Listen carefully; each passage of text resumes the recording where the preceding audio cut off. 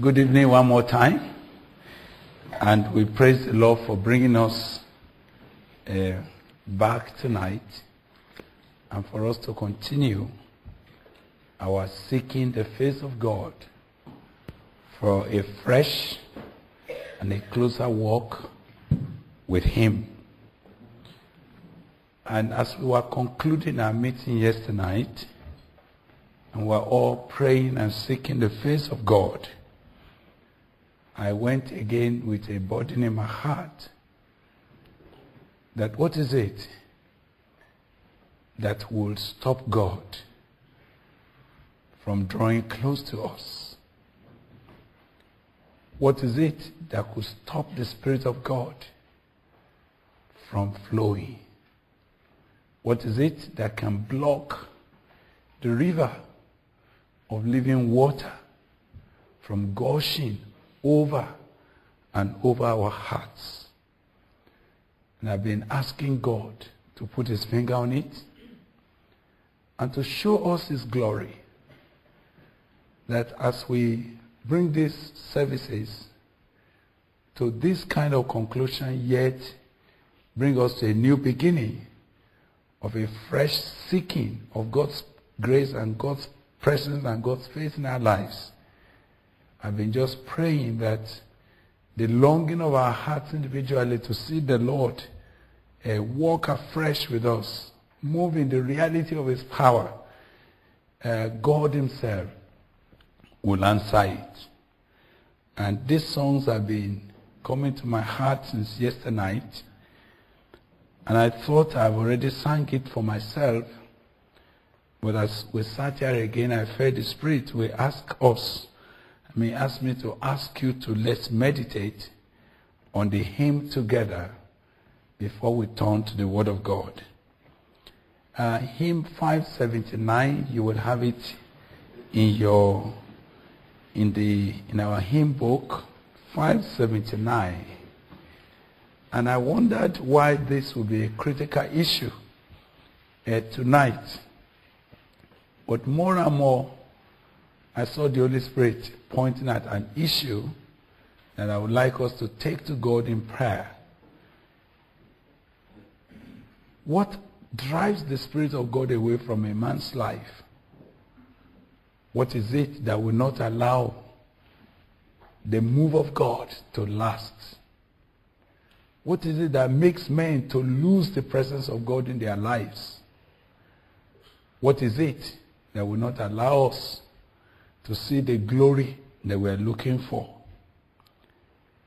579 says, If thou would have the dear Savior from heaven walk by thy side from the morn to the evening, there is a rule that each day you must follow. Humble thyself to walk with God. Humble thyself, and the Lord will draw near thee. Humble thyself, and his presence shall cheer thee. He will not walk with a proud or discomfort humble thyself to walk with God. If thou wouldst have the Savior from heaven walk by your side, not once in a long while, not once in a whole week, but if you want to have the dear Savior walk by your side from morning till evening, if you desire to have an abiding presence of God, that every moment of the day, you know the resident cloud of the presence of God, and you know the outworking of the Holy Spirit uh, in your spirit on a regular basis, there is a rule that each day, each day, you must follow. Humble thyself to walk with God. Humble thyself and the Lord will draw near thee. Humble thyself, and his presence shall cheer thee. He will not walk with the proud or discomfort. Humble thyself to walk with God.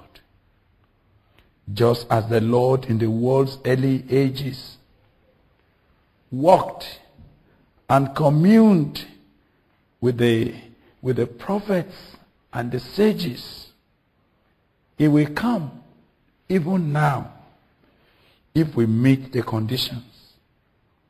Humble thyself to walk with God. Just as the stream finds a bed that is lowly, so Jesus walks with the pure and the holy. Cast out thy pride. And in heartfelt contrition, humble thyself to walk with God. We would sing that song. I think we will sing it about two times. We will sing it both thinking and meditating. I've been asking God to put his finger on what is it that put his face away. What is it that will not allow us to be in constant revelation of his power in our lives and in our ministry. And I'm feeling God giving me liberty tonight to look at the, the issue of pride that hinders the move of God. Pride that, that, that makes God to keep a man at a distance. We're going to look at various manifestations of it as the Spirit of God kept saying to me. Many, many move of the Spirit have been lost because the men that God wanted to use they became self-conceited. They became high, high-minded. They took the grace of God for granted. And we're going to be looking at the various manifestations of this dangerous, dangerous element that has turned the face of God away from many, has turned the presence of God away even from great works even the great works that God himself started. When men hijacked it with pride, God will have nothing to do with it anymore. And even though God had great interest in what he began to do, yet when he sees pride, when he sees arrogance that manifests itself in different, different forms, he whose eyes cannot behold iniquity he turns away. And he will have nothing to do with it. And no matter how mightily used a man of God has been, he can only continue to be used. For God says, my power is made perfect in your weakness. But when a man began to be strong in himself, when he begins to think highly of himself more than he ought to think, when he begins to think more of his own spirituality than the grace of God that has brought him to where he is, surely the grace, the power, the presence must have to withdraw. And I really wish this night we would just pray together. We just ask God to reveal to any of us, wherever it is, where this this evil that will not allow God to walk with us, if it is located anywhere, if it is found in our hearts, let the Spirit of God put his finger on it so that we might not go without his blessing. So that he will not be turning his eyes away even when we need him most. So i like us to take that song. We'll sing it gently two times. But we are doing so because we are praying and saying, Lord, put your finger on my life. What is it that will not allow you to walk with me? What is it that will not allow you to reveal your glory? What is it that will not let you hand over your purpose into my hands? Lord, open my eyes that I may see. If thou would have the dear Savior, do you know it? Right, please come. If thou wilt have the dear Savior from heaven, walk by thy side from the morn till the evening. There is a rule that each day, each day, it's possible to start walking with God in the morning. And when the Spirit of God has moved, it's possible that the man of God may mistakenly grab the glory and begin to tamper with that which belongs to God. Even though in the morning he sensed God, but now in the evening he has become an outcast because pride had pushed him out. I want us to pray together tonight and say, Lord, wherever it is found, don't let it be located in my spirit. I want to walk with you.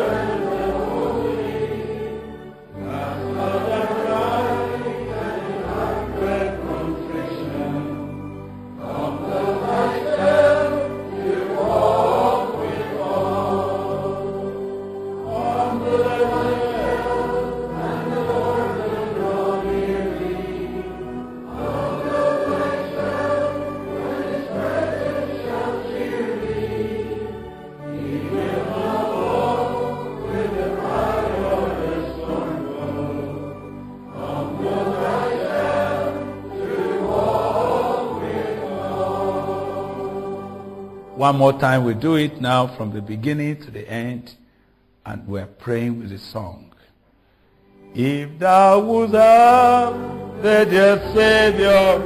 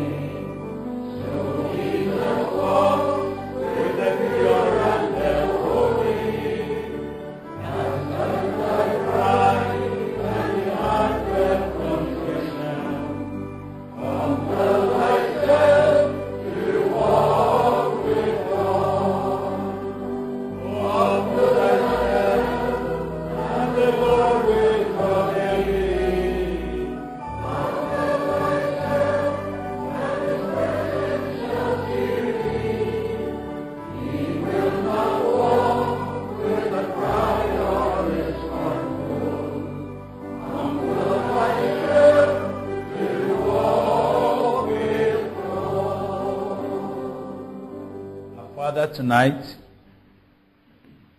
we don't want to be cast out of your presence. We don't want you, Lord, to look away from us. We don't want, oh God, to go away in dryness. We do not desire that that which you have begun to do in our lives will suddenly become withered because we are separating ourselves from you. Lord Jesus, we want to place ourselves in that condition where the water of life can find a bed that is lowly. We want to desire of you tonight, Lord, that whatever you will need to do to put your hand on our lives, to keep us in the place where you are eager and joyfully, pleasurably willing to walk with us, to walk in our midst, for us to know your presence. Lord, we thank you for what you've done in the past few days. We thank you for the testimonies, oh God, in our individual spirits. But something is crying out in our heart. Why can't we have more of you, Lord? Why can't we have more of you, Lord? Why, oh God, are you going to leave us where we are? Lord, draw close to us. Draw us nearer to yourself tonight. Put your finger on every issue in us that scares your eyes away. Holy Spirit, please put your hand on this matter. Not just that you are speaking to us as a congregation. Please speak to us as individuals and cause your will not to fail in our lives again. Thank you. In Jesus Christ's name we have prayed. Amen. Please turn your Bible to that scripture that you already know. But it's okay for us to start by looking at the book of James. Want us to read James. James chapter 4. James chapter 4.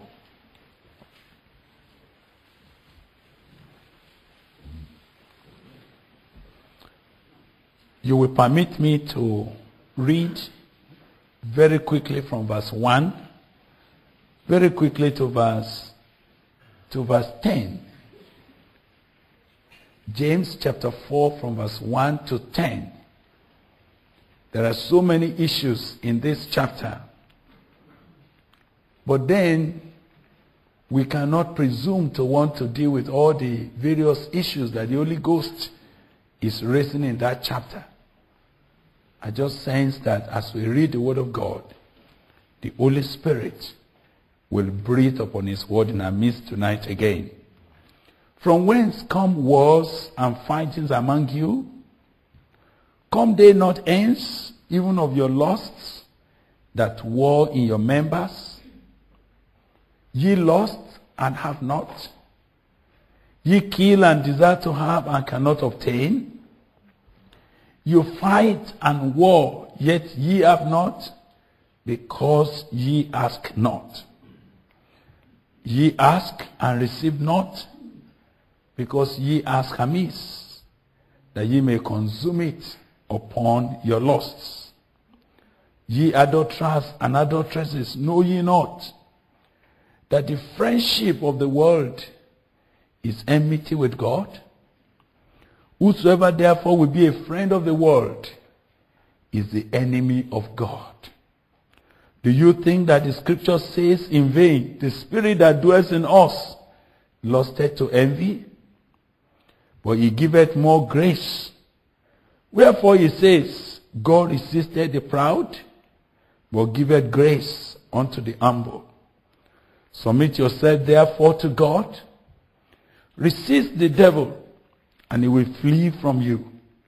Draw nigh to God, and he will draw nigh to you. Cleanse your hands, ye sinners, and purify your hearts, ye double-minded. Be afflicted, and mourn, and weep. Let your laughter be turned to mourning, and your joy to heaviness. Humble yourselves in the sight of the Lord, and he shall lift you up. And First Peter chapter 5, verse 5 and 6. Likewise, ye younger, submit yourselves unto the elder. Yea, all of you be subject one to another, and be clothed with humility. For God resisteth the proud, and giveth grace to the humble. Humble yourselves therefore under the mighty hand of God, that he may exalt you in due time. May the Lord bless the reading and the study of his word in our midst tonight. In the name of Jesus Christ. Amen. Amen. There are several issues that God will not tolerate.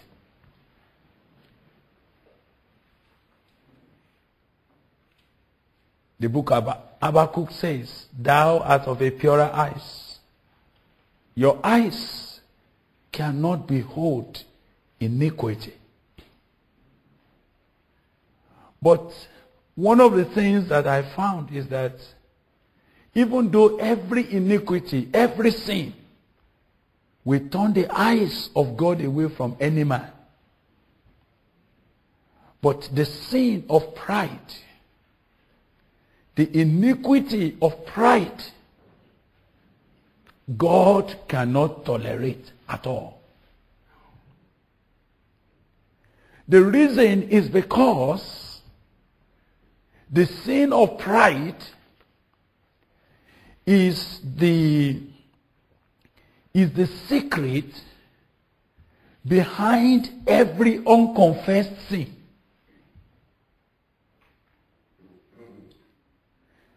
The sin of pride is the secret behind every hypocrisy.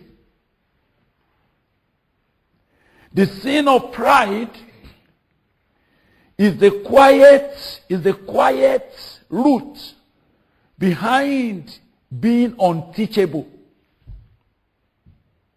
The sin of pride is what makes men snobbish and they do not tremble at the word of God anymore. The sin of pride removes contrition or a contrite and a broken spirit from God's people. And that's why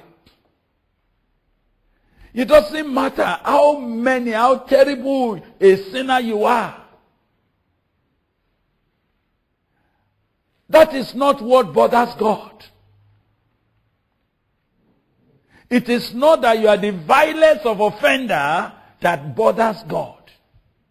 The truth of the matter is this. It is not angels that Jesus came to help.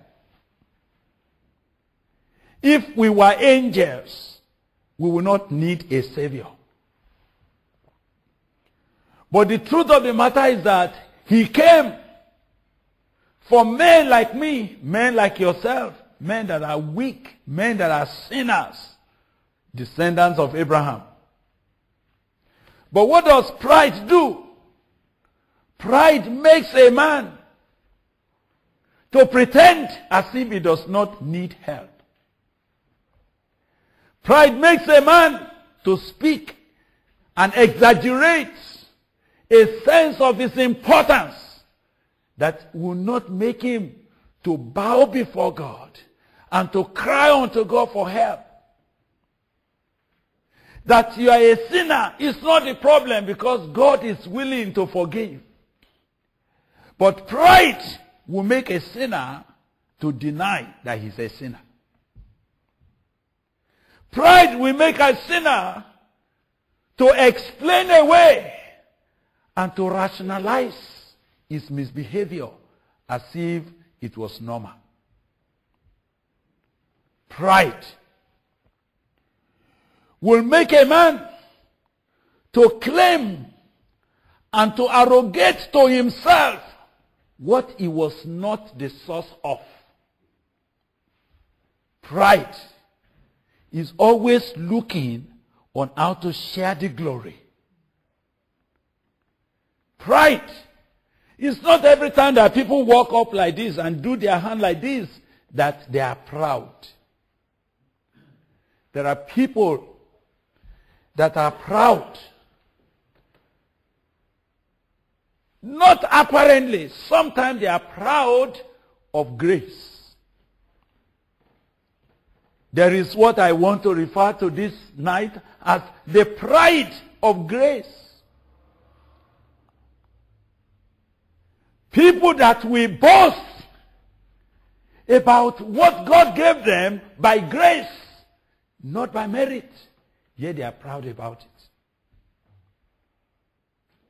What God brought into your life, not because, not because you worked hard for it, but you want to quickly add that to your credentials as if you had it because you worked.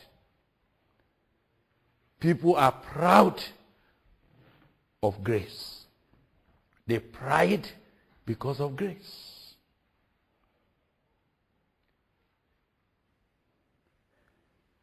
A man is proud because of his gifts. There is the pride I call it the pride of gifts. Pride of divine endowments. And Paul was saying to Corinthians, he said, what has made you different from another?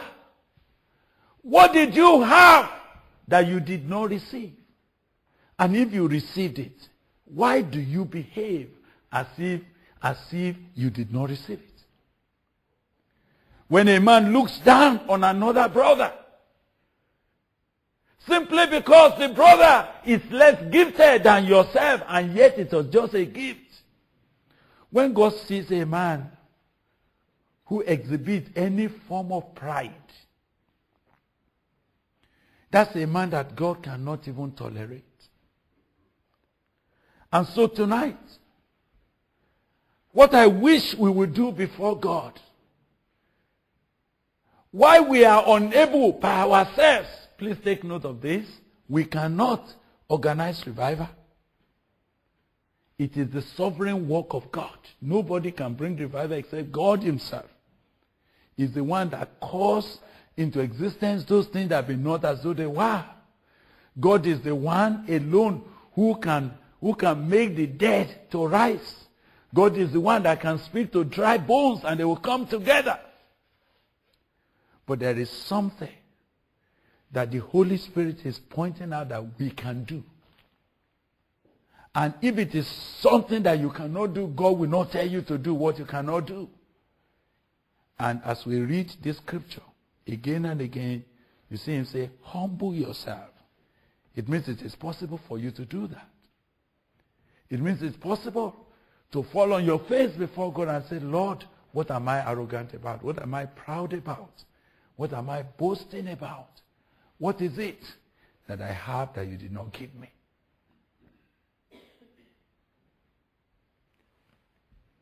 Pride of grace, pride of gifts, pride of position, pride of divine placement. Some of us were placed where we are placed, not because we did anything about it. Heaven just decided to put you in place where you are. And suddenly, the pride of place, the pride of placement or position will not allow you to work with God. Do you know sometimes the pride does not manifest out of anything else but pride of knowledge. The Bible said knowledge, what does it do? It puffs up. Sometimes it's not just the knowledge of science. It's not just the knowledge of some certain skills. Sometimes it could even be the knowledge of the Word of God that has become the reason why you have become unteachable.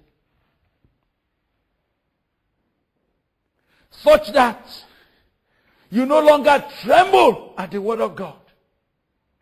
When anybody opens the Bible before he will open his mouth, you already conclude in your heart, what can this man say?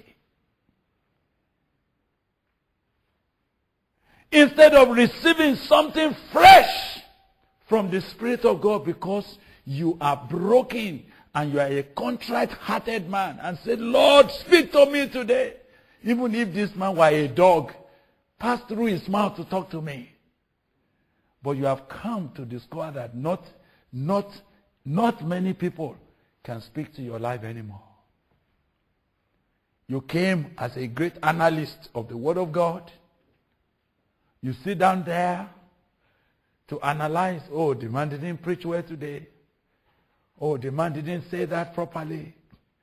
Oh, this man, why did he not quote this verse and quote that verse? I hope you are not beginning to cling onto an empty knowledge that will block you from the freshness of experiencing God. So as I look at the scripture here this night, and I wish we can easily illustrate it as we go to God in prayer.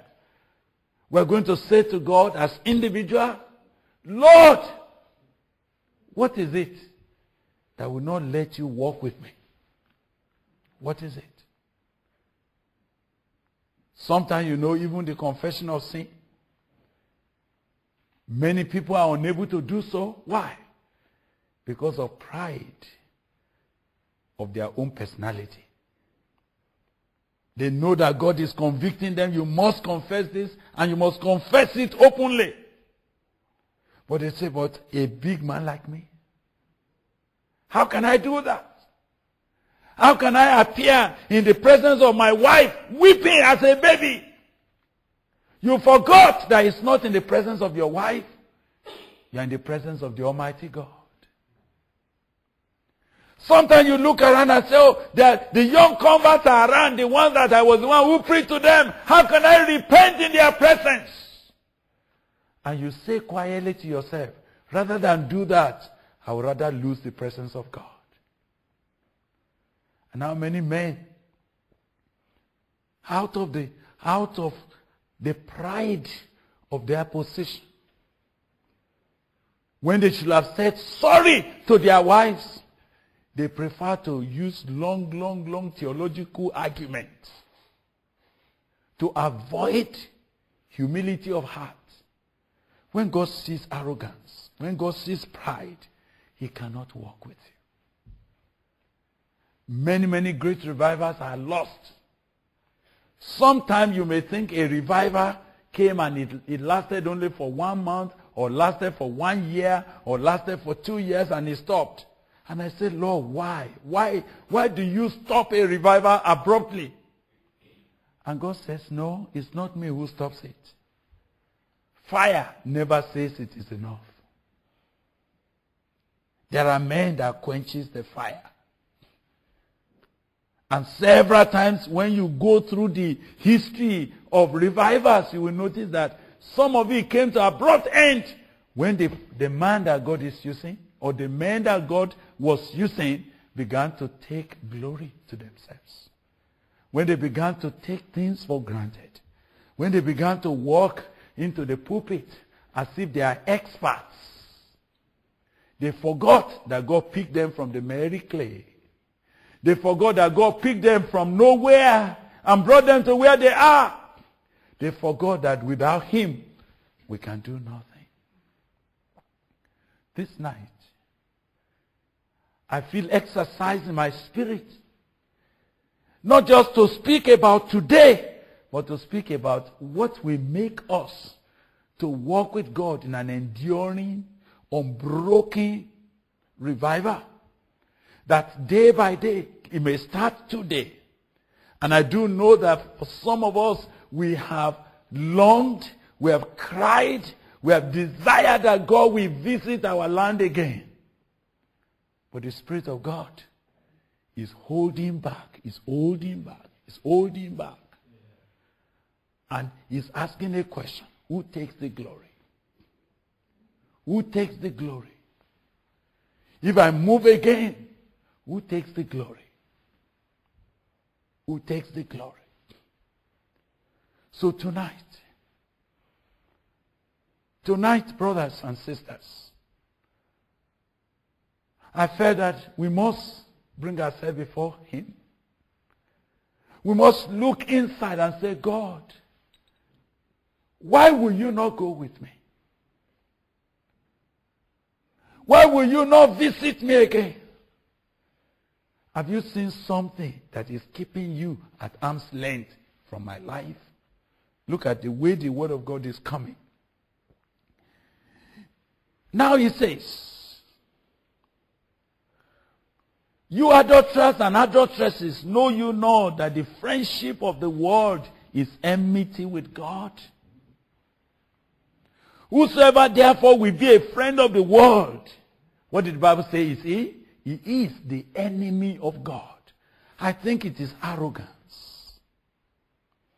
It is this kind of flagrant arrogance, pride of life, that makes a man to keep company with the world that is the enemy of our God and walk here very boldly as if, yes, there's nothing God can do to me. I can talk to him. If not that arrogance and pride has come, how will a man who had flagrantly disobeyed the word of God, how will he dress up and come and sit down there as if he's challenging God to battle? As if he's saying, God, I have done it. Whatever you think you can do, come and do. The Holy Spirit says, Don't you know that whosoever therefore be a friend of the world, he makes himself an enemy of God? Or do you think that the scripture has spoken in vain? That the spirit that dwells in us lusted to envy? Why do you provoke God to jealousy? Why do you, dear God, I say, let him do whatever he likes. But when a man has begun to be proud, he loses his sensitivity unto the holiness of God. You see, for me, pride is not just about lifting yourself up. Sometimes pride manifests itself by bringing God down. I don't know why you get what I'm talking about. Pride is not always only manifested when somebody is trying to be where he is not. But pride is also a manifestation of scornfulness. That's why that song says, He will not walk with the proud or the scornful.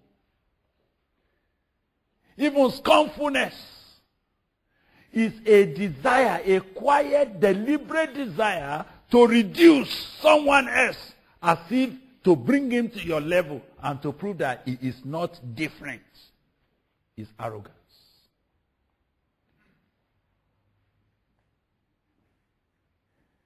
When pride is beginning to manifest in a man's life, even though he couldn't climb up there and say, I'm on top of everybody, you see him, he disdains others as if they meant nothing. And sometimes, the first attitude, the first manifestation of an arrogant heart is criticism of anyone else whose life or whose ministry or whose whose manifestation of life reveals your weakness.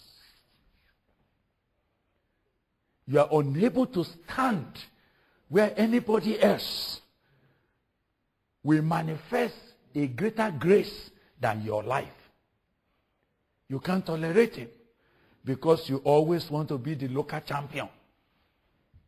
When God sees this kind of spirit, when God sees this kind of manifestation, look at the Word of God. verse 6. Say, but he giveth more grace. Wherefore the scripture says, God resisted the proud, but giveth grace unto the humble. Now my fear comes here. This is where my spirit is very, very overwhelmed. That God resisted the proud. I don't know whether you have seen that. That whenever a man is, is arrogant, what he is calling for from God is what? Resistance, not assistance.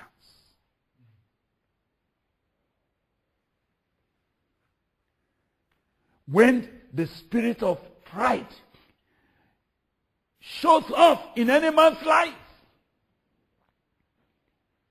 whatever divine assistance he should have received from God automatically becomes a resistance. Where can a man go when God himself is the one resisting him? What progress will a man make when it is God himself that is stretching forth his hand and say, you will go nowhere. You will go nowhere. You will go nowhere. God resists the proud, but giveth grace unto the humble. Submit yourself therefore to God. Resist the devil. I was wondering why immediately the person to resist is the devil. Do you know why? Behind everything the devil brings to a man, he tempts you to be proud.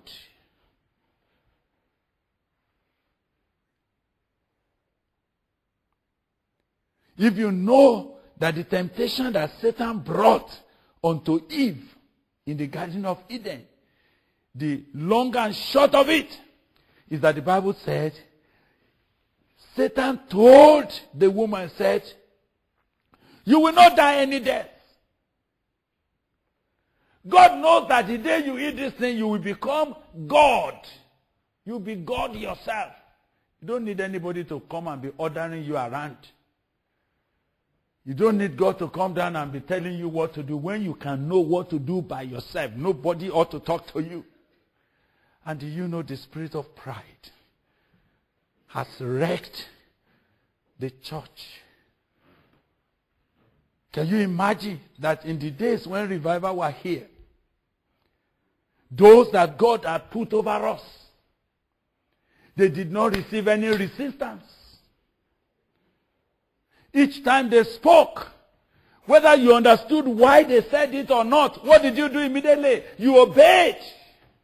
But now, call a young person and say, go and do this. He said, why? I can't do that because I don't believe in that. So to bring instruction even to our members in the church is becoming a big problem because people only do what they want to do by themselves. The spirit of pride. Where are those days when the elders will sit down and having prayed they just call you and say, brother, we have prayed. And by the Spirit of the Lord, we felt you should not do this anymore. And the young man, the young member in the church simply said, it's okay. And he will do that in submission. But now, there's a lot of arguments. There's a lot of desire for independence. For us to say something, somebody will argue it. Back and forth, back and forth, back and forth, back and forth. Do you know why discipleship? That following, in order to be made for God, do you know why it has died in our midst? Individuals are saying, no, you don't have to tell me anything. I know what I'm doing. I don't need to talk to you about anything. And you can't order me about.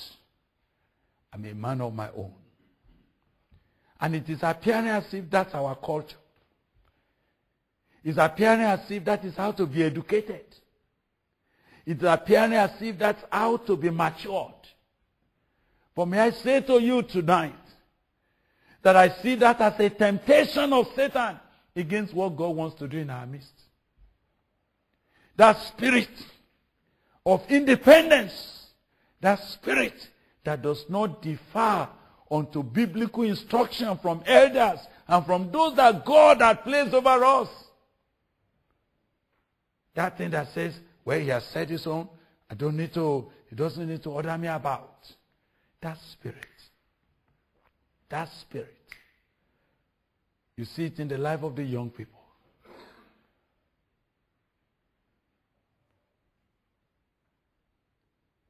We're going to be calling on God. Where is it that this canker is eating deep into my own life? I need to lay it down. I need to lay it down. Resist the devil because that's what the devil will bring to you. The devil will say, now you're a big girl. Now you can be on your own. Now you can take your decision by yourself. Now you can go and stay on your own. Now you can get your own uh, uh, support. Now you can be this. Now you can be that. And arrogance that makes even discipline in the church almost impossible. If you want to discipline somebody, he walks out on you and say, well, your church is not the only church in the city. And he moves he goes to join another place because he cannot be disciplined here. Arrogance. Why we cry for revival. Why we cry that God will come back to us. Why we cry that the Spirit of God will visit us again. We need to deal with that spirit of pride. The pride even of knowledge. The pride of what does he know that I don't know? God, God resists the proud. But he giveth grace unto the humble. Submit yourself therefore to God. Resist the devil. And he will flee from you. Draw nigh to God. And he will draw nigh to you. Cleanse your hands Ye sinners, and purify your hearts, ye double-minded. Be afflicted and mourn and weep, and let your laughter be turned to mourning, and your joy to heaviness. Humble yourselves in the sight of the Lord, and he will lift you up. Now, before I leave this matter tonight, I intend that we could look at how it works out how it works out. And I want you to know that Satan is so wicked because that was what pushed him out of heaven. Am I right? He was Lucifer. He was, he was, he was an archangel. He was of the rank of Michael, of Gabriel. And Lucifer was that, was that angel, the, the, one of the cherubim that covers the Shekinah glory.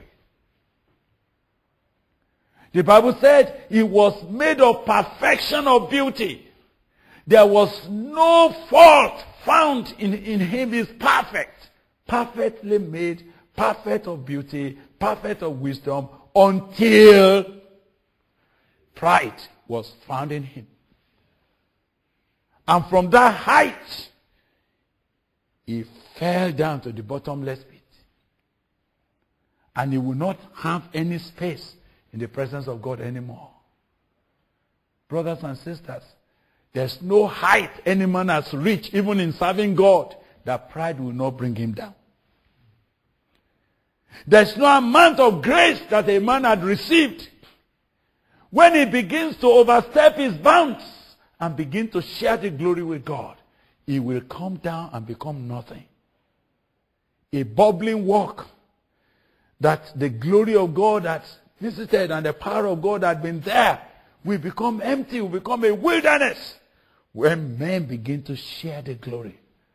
When men begin to be arrogant quietly in their spirit. Now, Satan was very daring. He even came to Jesus. He even came to Jesus. All the three temptations that were recorded for us in Scripture, if you read it very, very well, you will know that the quiet issue behind it was the temptation to be proud. Satan came and faced Jesus and said, and if you are the son of God, as a son of God, you need to demonstrate that you're, a son of God. Command this bread to become, uh, this stone to become bread. If you are the son of God.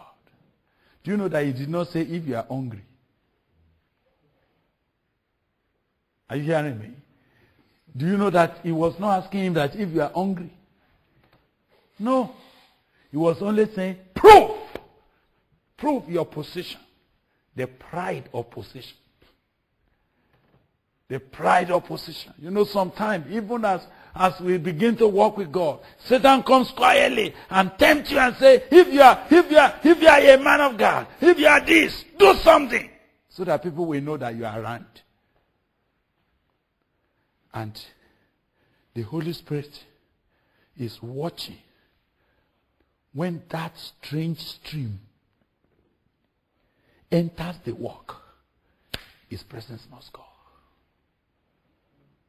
How wonderful it is that I saw this brother and her sister Rachel playing. Very beautiful.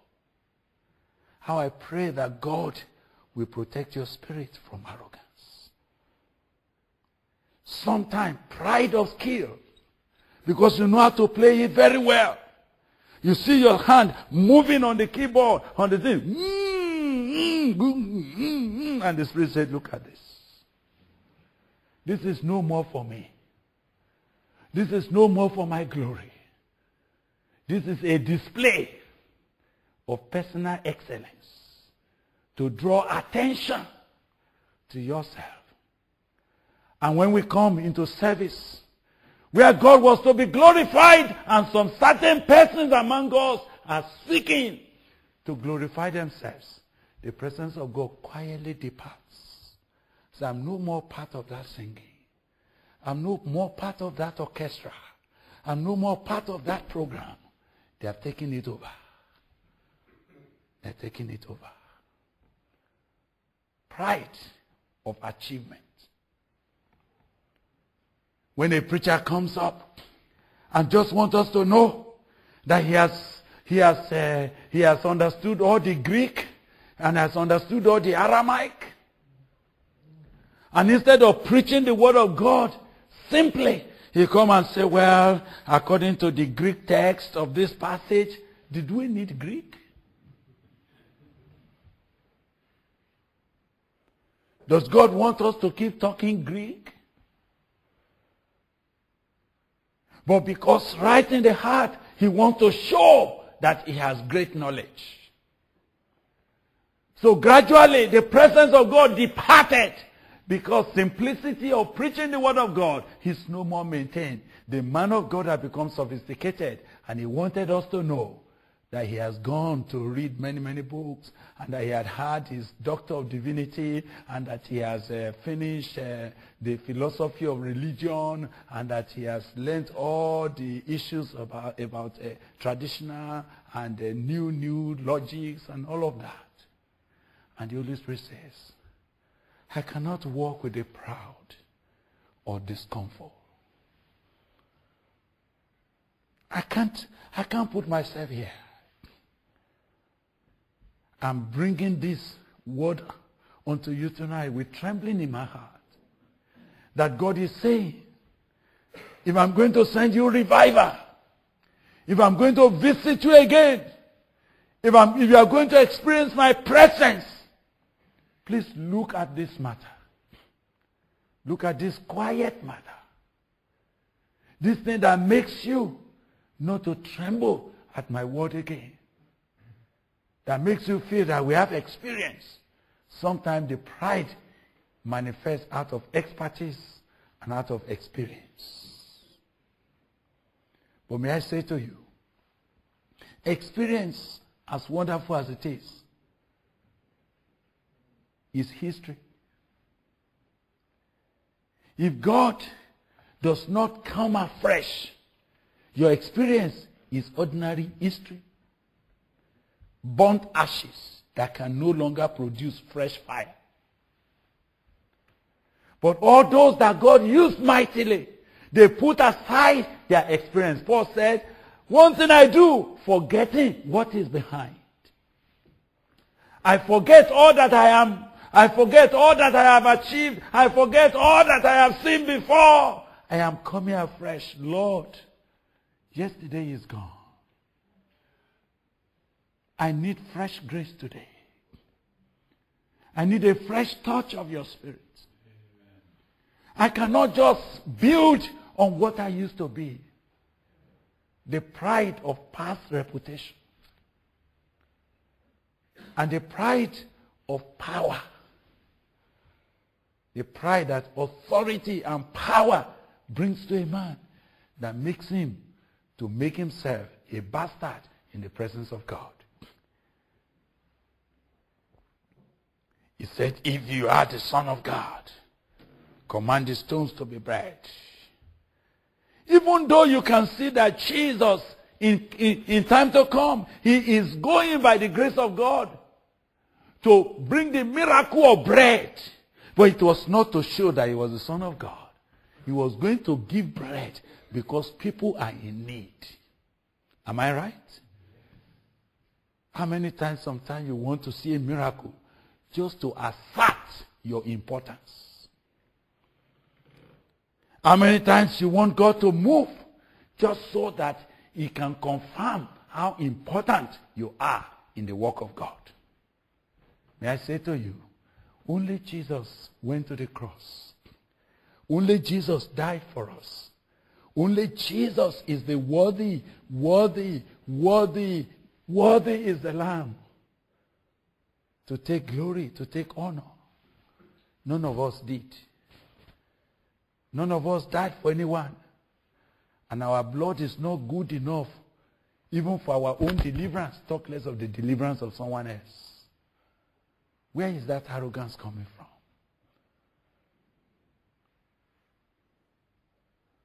And Satan was saying, look at all the glory of the world.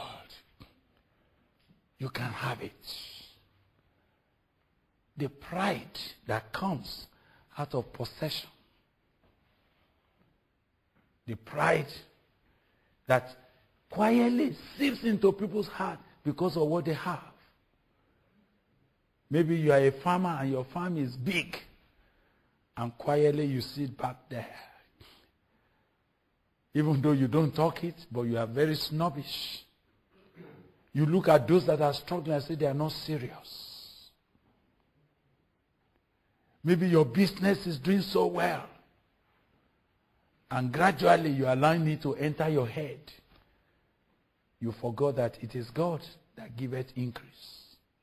And it is God that gives you power to get wealth. And he told Jesus, the pride that comes out of presumption, he said, since you are a very important man of God, even if you go up to the to the pinnacle of the temple and you fall down. God, because you are too precious, God will not, God, God cannot afford that you will fall. He will send angels to come and carry you. Jesus said, No, thou shalt not tempt the Lord your God. And I found that some of us and some great men of God, they think they are too important. They think that God will be feverish to discard them. So I see them taking God for granted, taking the word of God for granted, coming on the pulpit as if they are going just to, to chat. I see them coming as if they, they, they and God, as if they are classmates. Such men, God cannot bless them with revival. They can make noise. They can do their performance on the pulpit. They can do more drama. They can do a lot of activities. But they will not have his presence. They will not have the divine signature of God over what they are doing. Submit yourself to God. Resist the devil. Humble yourself in the sight of the Lord, and he shall lift you up. So, First Peter chapter 5 was concluding, and he says, and I want just to read it. He said, Likewise, ye younger. And I wonder why the Holy Spirit has to say that to us. Likewise, ye younger. Submit yourselves unto the elder. We are now in a generation where submission is regarded as oppression. We are now in a generation where wives are no more told to submit to their husbands. Actually, the law of the land continues to undermine the authority that God has set over a home. He said, the head of every woman is the man. And the head of every man is Christ. But we are now in a generation where wives, women have been told there's nothing about that. You can speak to him. And if he does not agree with you, you can check him out. And if there's any little problem, and I've seen this happen in this country, that if there's any conflict between a man and his wife, it is the man that will be checked out. And many wives are so happy to threaten their husband and say, if you don't behave, I'll check you out of this house. They thought that they have the capacity, arrogance, that would not allow God to bless us. Arrogance that will not allow the presence of God to come to us. But we cannot stand to bring judgment on the world system if the same issue is located in our own lives. This night I want you to check. Where is this pride manifesting? Could be little. It could even be that argument you are making with your husband incessantly. That when your husband says something, say, well, if he makes one sentence, you make three sentences at the same time. But then you come here and God is saying, why is this woman praying without her head covered? While it was wonderful that our sisters are learning to, to, to, to put, you know, a cover over their head. But may I say to you that God needs more than ordinary scarf on your head. He needs shamefacedness. He needs a life of submission. He needs a life that honors, honors our head.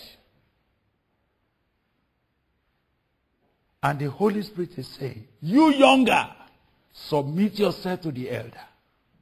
Yea, all of you be subject one to another and be clothed with humility. For God resisted the proud. This is the second time we are reading this. God resisted the proud and giveth grace to the humble. Those of you that carry cross-reference Bible, if you go quickly, you will see where the scripture was referring to when he said God resisted the proud. Can you follow me quickly and look at Psalm 138? If we can catch it there quickly. Psalm 138. You see what God says there.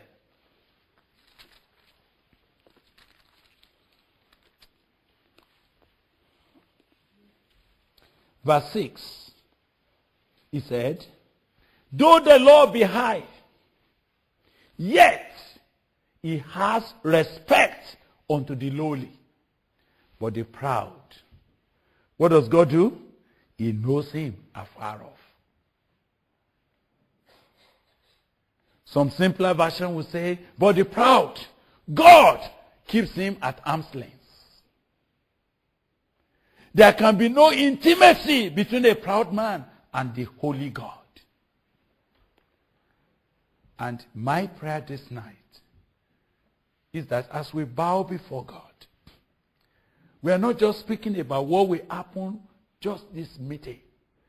We are looking for what we must put ourselves into that we draw the presence of God constantly, constantly into our spirit. That will make us to be a people that God will say, I am happy to identify with that man. I am happy to identify with that man. Say, though God is high there, God is the most high God. But when he sees a humble man, what does God say? He has respect for him. God regards a humble man. But when he sees a proud man coming from afar off, he says, Stop him there! Stop him there! I don't want to see him near me! Keep him afar off.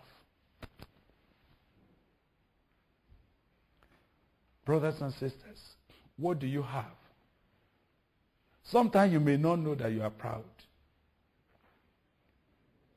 Sometimes you may not know that Pride is already sifting into your spirit. You have got this strange, strange boldness that no longer fears God, that no longer trembles at the word of God. I was speaking yesterday about when a man has lost his passion, I said tears dries out of his eyes. Because it's no more a problem to him even if the presence of God no longer comes to him. But tonight, I see God saying, humble yourself before the Lord, that he may lift you up in due season. And in Isaiah 57, I want you to please check Isaiah 57, I think verse 15. Look at what it says there. For thus says the Lord, the high and lofty one that inhabited eternity, whose name is holy. I dwell in the high and holy place. With him also that is of a contrite and humble spirit, to revive the spirit of the humble and to revive the heart of the contrite ones. Are we asking for revival?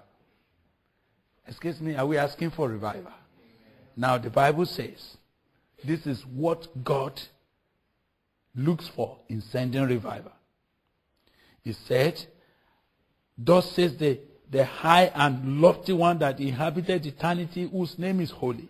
I dwell in the high place, I dwell in high and holy place, with him also that is of a contrite and humble spirit, to revive the spirit of the humble, and to revive the heart of the contrite ones. For I will not contend forever, neither will I be always strong, for the spirit shall fail before me, and the souls which I have made. Brothers and sisters, God will only revive the spirit of the humble.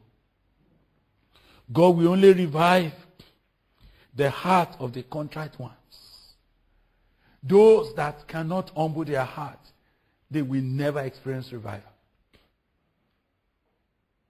Those who are snobbish about the word of God, they cannot experience the blessedness of his presence. Now, why do we need to say that to ourselves as a congregation here? May we be very careful that even our past history does not make us arrogant. Hallelujah. Do we need to pray that even the way God dealt with us, our distinctives, the things that God revealed to us, will not make us arrogant. We need to pray that the volume of Bible knowledge that we have will not make us arrogant as not to seek God to visit us afresh in our lives.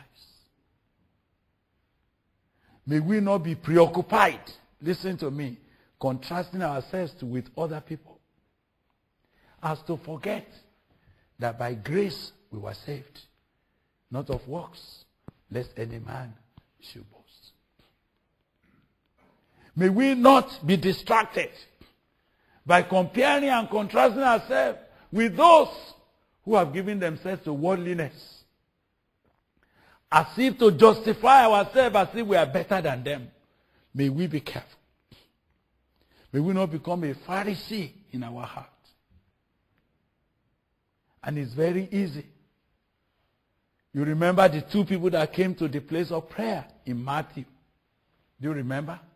One man came and knelt down and stood before God and said, God, I am not like these people.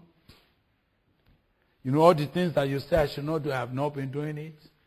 Unlike this one that is always uh, misbehaving, they are doing things, they are doing things. And the Bible said he prayed with himself. He did not pray to God, he prayed with himself. He was so full of himself that it was about himself that he was talking. He was only, you know, uh, bringing before God everything about himself, all the good things he's doing. Whereas the other man, the publican sinner, he fell down before God and on his face he say, Have mercy on me, O sinner. The Bible said, the man, the sinner man, honestly, went home justified. But the man who has so many, many credentials, he went away sorrowful. God had nothing to do with the arrogant.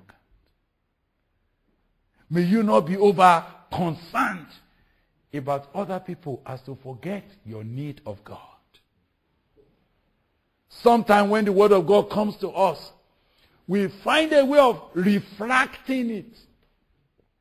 In science, we talk about refraction. And what is, the, what is refraction?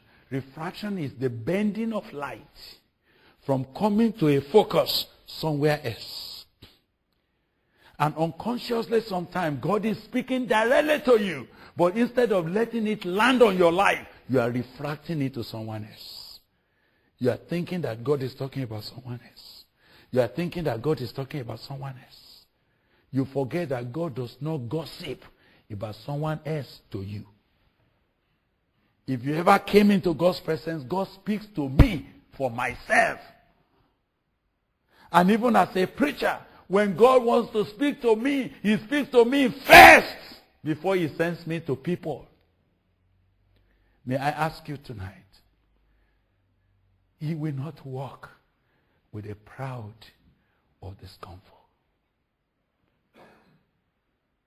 As we pray and as we seek the face of God, to whom will I look? He said, those who are of a contrite and broken spirit, who trembles at my word.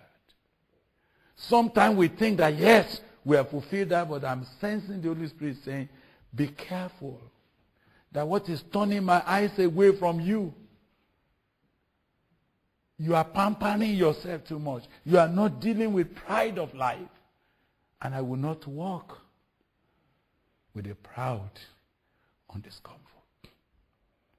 The issues we are raising tonight may be probing. It might be making us to look inside, look inside. But I, I felt the Holy Spirit will have me share this because I could see that we are longing for revival. We are longing for God's move. We are longing to experience His power. We are longing to experience His glory in our lifetime. May the Lord help us. The Bible spoke about Uzziah.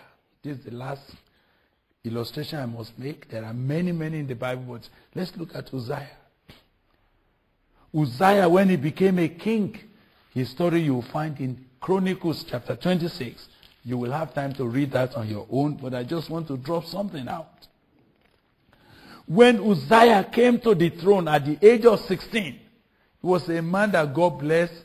At 16 years of age, he was already on the throne. He was already a king. And he was 16 years when he began to reign, and he reigned 52 years. And he did that which was right in the sight of the Lord, according to all that his father Amaziah did. And he sought God in the days of Zechariah, who had understanding the visions of God. And as long as he sought the Lord, God made him to prosper. And God helped him. These are the story you will read as you read chapter 26 verse 7. God helped him against the Philistines, against the Arabians. Moreover, God was advancing him. God was advancing him. Now, please go to verse 16. Please read 16 for me. 26, 16. But when he was strong, there are people that are humble when they were simple. There are people that their hearts are simple because they have not yet grown. There are people that are teachable because they have not seen miracles yet. Now the Bible says, but when he was strong, his heart was lifted up to his own destruction. For he transgressed against the Lord his God. And he went into the temple of the Lord to burn incense upon the altar of incense. Now I was saying, Lord, what's wrong with that? He didn't go uh, chasing other women. He didn't go stealing money. His own arrogance only became manifest as he took the altar for granted. I hear him saying, what is it that the priest can do that I cannot do? So he came to church one day and, you know, the priests were to officiate, they were to burn incense. What did Uzziah do? He just went straight to the altar. And he took the censer, he wanted to burn incense. And the priest said, no, brother, you have not been ordained for this. You have not been set apart for this. You are a king. You are not a priest. He said, get back, get, get, get back. What are you talking about? What are you doing that I don't know how to do? He was arrogance. Sometimes pride makes you to overstep your spiritual boundary. Sometimes pride makes you to forget the boundary of your ordination. Sometimes pride of life does not allow you to remember where God has put you and you want to dabble into someone else's calling. Pride makes you feel there's nothing they are doing that I don't know how to do. And that day, God was saying to him, Uzziah, Uzziah, do I love you? But not as a proud man. And immediately he became a leper. Oh, he died a shameful death. From the temple they couldn't take him back to the palace because a leper cannot stay with human beings. They went and put him in a, in a secluded house in the bush, and there he died. Pride will bring anybody down. No matter how wonderful a ministry God has blessed you with, pride will scatter it. Pride will bring you down. The Bible says, pride goeth before destruction. He will not walk with the proud or the scornful. Humble thyself to walk with God. Humble thyself, and the Lord will draw near thee. Humble thyself, and his presence shall cheer thee. He will not walk with the proud or the scornful. Humble myself to walk with God. Let's pray together.